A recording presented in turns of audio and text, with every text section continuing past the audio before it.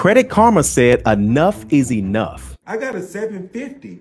So I'm trying to see how I'm not going to sir, get approved. Sir, sir, who told you that? Go Credit Karma. You say Credit Karma? Now, I know many of you all have been talking bad about Credit Karma for years. Hey, yeah, I'm looking What? at your credit score right here. Uh, it's a nine. What, what can I get with the nine then? Sir, the only thing you can get is off the phone. That's that's, about- that's about it. But now you can finally buy a home using your Credit Karma score. You've said that you can open up mortgage lending to how many more millions of Americans? So we score about 40 million more people. In this video, we're going to talk about some of the major changes that's not only happening in the mortgage industry, but also in the credit score industry as well. Starting in the third quarter of this year, 2024, you will now be able to use the same exact scoring model that Credit Karma and so many other platforms use to actually go into homeownership. Now, I know some of you all are thinking, oh no, Calvin, that's not true at all. I know some of y'all going to say that. Let me show you. Equifax, Experian, and TransUnion, those are the big three credit bureaus. Explain their role in my Vantage score. Well, they give us strategic direction, uh, and we have access to uh, large, large amounts of data, uh, anonymous data, and funding and capital. So we're going to be around for a long time. So there's an advantage there. However, uh, we're very careful about anti- antitrust issues. They cannot tell us what to do every day, and uh, we're independently managed. So we create our our own decisions and do our own model development. Right. A lot of people might not know that when those credit bureaus have to deal with the FICO score, they're dealing with a, an independent company, Fair Isaac Company, a company that's done extremely well, by the way. Their stock is up like 500%, six times over in just the past five years. Are you effectively trying to end FICO's monopoly on my credit score? And, and why, what impact will this have on people trying to get a mortgage? So, to your first question about ending a monopoly, we, we want to compete. One of the reasons we started was to compete with FICO, but the market's large enough for both of us and for other market uh, uh, developers, uh, score developers. And so uh, we believe the competition, we come out with more products, uh, more features, more benefits, and have the competition follow us. You've said that you can open up mortgage lending to how many more millions of Americans you think? So we score about 40 million more people than the uh, uh, other c- commercially available models, and about 10 million of those are the 620 and above. And I picked the 620 because that's pretty much the minimum for a FHA loan. So those- you- you're saying that that you can expand access to 40 million people, and only 10 million of them are in traditional, like the credit-worthy cutoff. At a 620. Right. Uh, and of those 10 million, about 2.4 million are African Americans and Latinos that cannot otherwise get a score.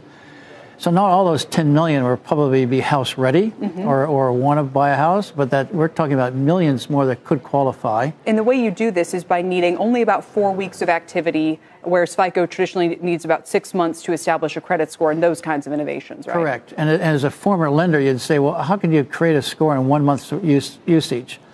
So we tested that data with uh, vast amounts of data, and you, guess what? The new scoreable score, their, their, their probability of default, which is what a score does, measure probability of default, is about the same as long-term borrowers. So it's an incredibly accurate score for this. Why?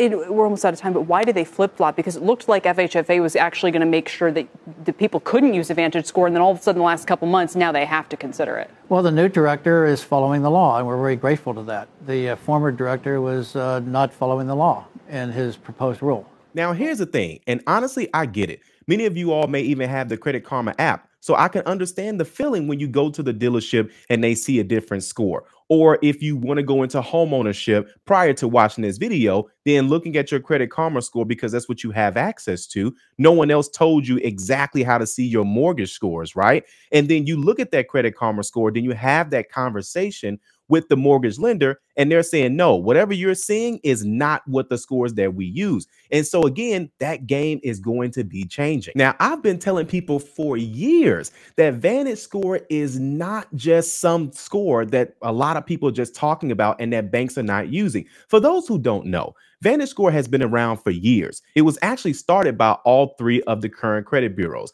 Equifax, Experian, and TransUnion. The whole purpose of them creating this score was to be in direct competition with FICO, which, by the way, FICO has never had competition come this close. Not to mention that every time a financial institution takes a look at your credit score, they have to pay for that score. But if you look at your closing documents, if you've you know purchased a home before in the past, you'll see that some of you all have been paying for that credit score on average about $95.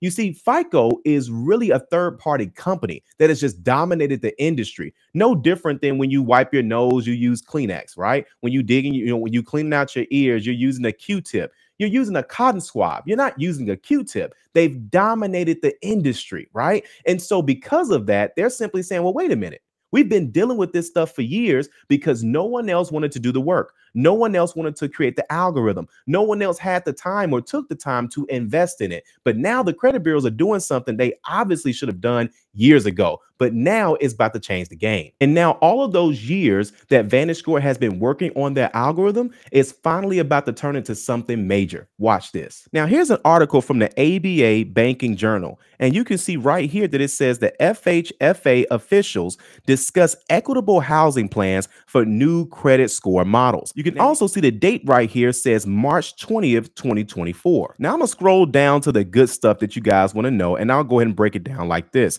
So it says right here, officials also discuss the transition to the FICO 10T. Now I'm gonna pause right here real quick because we just did a video on that. So make sure you guys go ahead and check that out as we break down the changes that's going to be coming with the FICO 10T how that's going to affect you if you have trade lines, and a lot more. And the VantageScore 4.0 credit score models, as well as the move from requiring three credit reports down to two credit reports for single family loans. Now, let's pause right here, real quick. I hope you guys understand what you just read.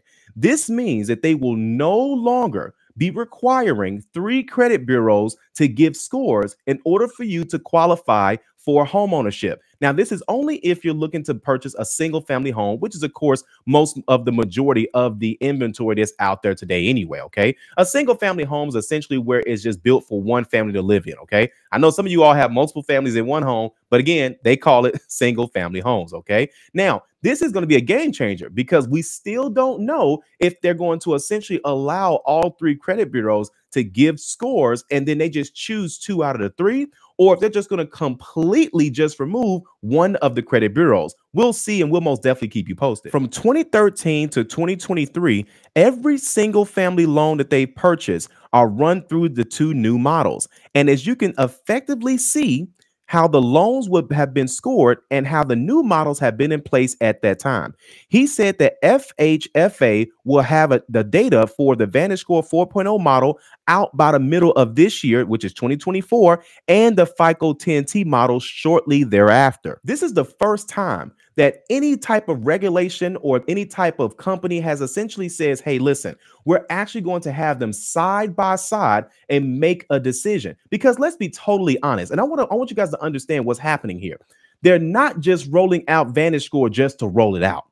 They're simply saying, hey, listen, Vantage Score is on to something and it's all about money. Not, not the money that you think like they're being greedy or something like that, because as we all know, Vantage Score is free. And let's be clear on something. Credit Karma is not the only company that uses Vantage Score. Credit Karma is the most popular company, but you also have Credit Wise. Yeah, that's that's given to you for free by Capital One. So if you have a Capital One credit card and you have a credit and you have yours and you can see your score through Credit Wise, that is your Vantage score. And it's also Wallet Hub, Credit Sesame, and also if you go to Equifax.com and you get their plan, that's a Vantage score. If you go to TransUnion.com, that's a Vantage score. So again, this isn't something that Credit Karma just uses. This has been out for years. But let's go ahead and see if you're going to meet the new qualifications. Now, this is an article directly from the Federal Housing Finance Agency. I'm going to zoom in on this so you guys can see this a little bit better, okay? And so what we're going to do is we're going to go ahead and start off with the recent updates, just really quick. So now on February 29th, the FHFA announced several updates in related to the implementation of the updated enterprise credit score requirements. All that it means is is that they're considering new credit scores. Okay. Now, here's the deal though. You guys got to understand that this has been going on. This isn't something that's brand new. This is something that's been going on for quite some time. Back in October 24, 2022, FHFA announced the validation and approval of the two new credit score models FICO 10T, and Vantage 4.0. So again, before the models even came out, they've already was working on this. Okay. And then, of course, March 2023, they gave an update of the implementation plans and opportunities for stakeholder engagement. Okay. Then that went on to be in uh, September 11, 2023.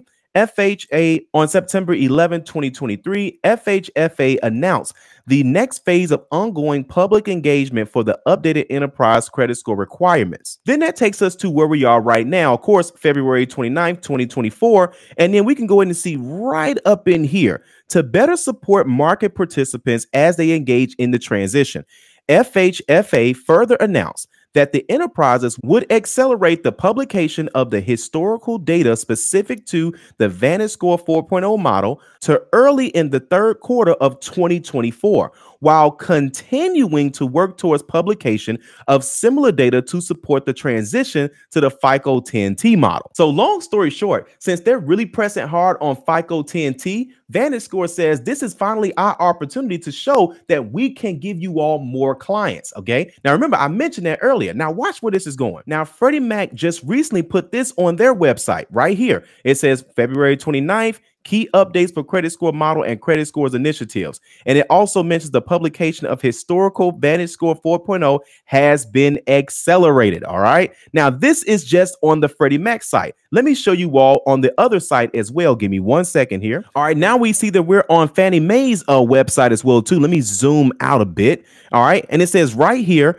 Credit Score Models and Reports Initiative. All right. So it says Fannie Mae tests and validates required credit score models for accuracy, reliability, and integrity. Okay. Again, this is on their website, Fannie Mae and Freddie Mac. These are the people who actually you know, make the regulations for the entire mortgage industry. Now, why are they doing this again? Because Vantage Score says that there's over 40 million people that can qualify for homeownership or just really have a credit score in general. And a lot of those people, 30 to 35 million of those 40 million, will be able to go into homeownership. Let's take a look at the score chart. So you can see right here that everything starts at 300, but this is going to be a huge difference. Watch this. So FICO says that there are 16% of people that have a credit score between 300 and 579 but this is with the FICO score. That's what everyone has been going by.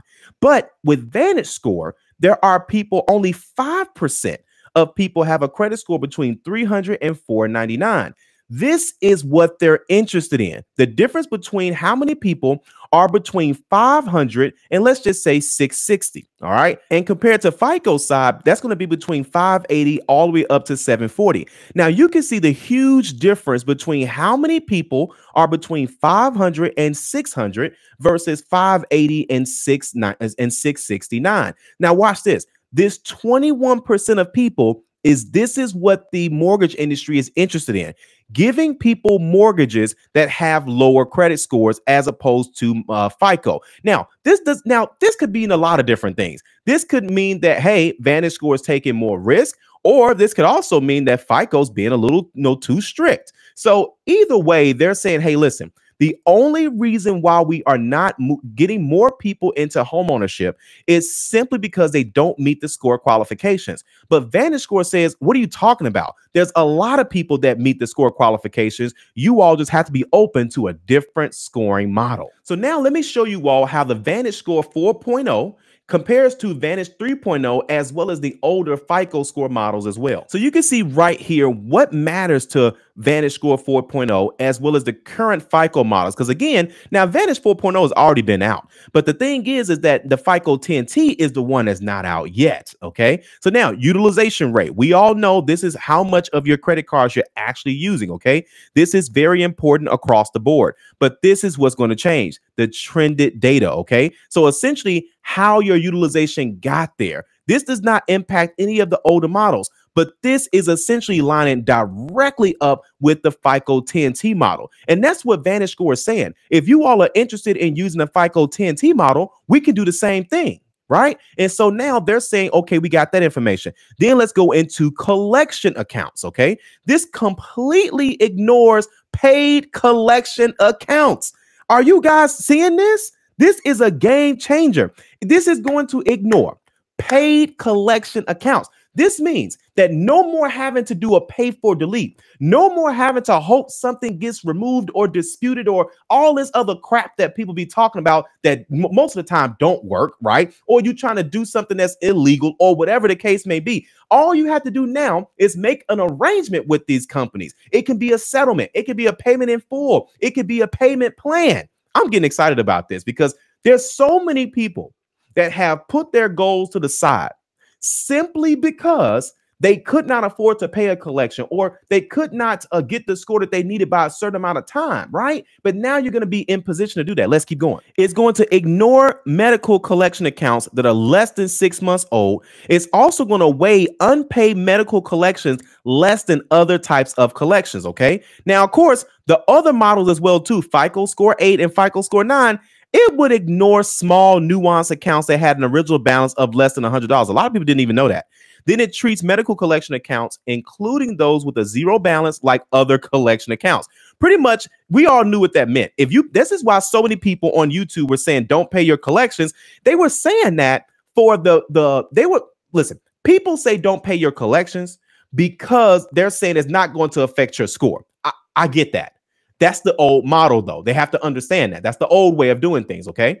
Now, again, what they didn't tell you, though, the legal ramifications if you did not pay your collections. Now, I know most people don't get taken to court because a lot of people got collections, but people that have collections at a certain amount, they do take people to court. I keep telling y'all this stuff. And it also talks about tax liens or judgments. Now, we do know that tax liens and judgments, they've removed those from credit reports back in 2017, actually a little bit before that time as well, but they can have a significant impact. But Vantage 4.0 says it's less important than before, but can still have a negative impact. Now, Vantage Score says it's less important than before, but can have a significant impact. You don't even have worry about this, guys, because this is not even on your credit reports anymore anyway, okay? Now, for those of you who have not seen my FICO 10T video, go watch that. But again, if you want just a quick little piece of what it's going to be, I'll show you right here. Short version is the T in FICO 10 stands for trended data, okay? And this just means your utilization rate starts to remember. According to VantageScore, trended credit data reflects patterns in borrower behavior. These behaviors are generally tied to how you borrow and repay credit over time. This can include how your utilization rate and the amount of available credit trends over time. So, how is this different from other scoring models? For some credit scoring models, your utilization rate doesn't have a memory. In other words, credit scoring models generally consider your most recently reported utilization rate when calculating your credit score. However, the new VantageScore model will incorporate up to two years worth of trended data into its scoring model. It's the first tri-bureau credit scoring model to do so. But what's most important to remember is that it is that practicing good credit habits, such as making full on-time payments, remains strongly influential when it comes to your credit score, no matter what the model is. Now, also, you guys are seeing my FICO 10T video, how they say if you make multiple payments towards your credit cards, that will actually help your score as well. So again, this is going to put a lot of people in position to go into homeownership. And let's be honest, it's a matter of time before the mortgage industry not only sees a huge increase, but that the auto loan industry is going to start saying, hey, maybe we should do the same thing. Are we missing out on money as well? Are we missing out on clients because we couldn't give a certain interest rate? Are we missing out on car buyers because we cannot reach a certain monthly payment and they walked out the door? Now they'll be able to get more of that business as well me personally, I don't know if credit cards are going to jump on this because credit cards, there's no collateral. So if you max out a credit card and you just don't pay, there's nothing for them to come and get. But with the mortgage, if you don't pay, they obviously have the house. If you don't pay a car, they obviously know where the car is. They tracking these cars nowadays too. But either way, we'll keep you guys posted. If you all like this video, you're most definitely going to love the next one, and I'll see you there.